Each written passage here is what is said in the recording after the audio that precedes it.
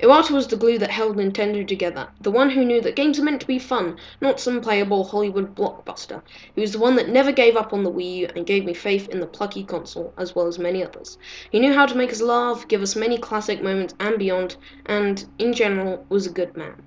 His death has left the internet shocked, and I thought I would pay my respects. He was one of Nintendo's most recognizable leaders, and one that always gave me a fanboy moment when his name would appear on the credits of games. Watching future directs will not be the same without Iwata, and it feels very weird and almost unreal to know that he is gone. May he rest in peace.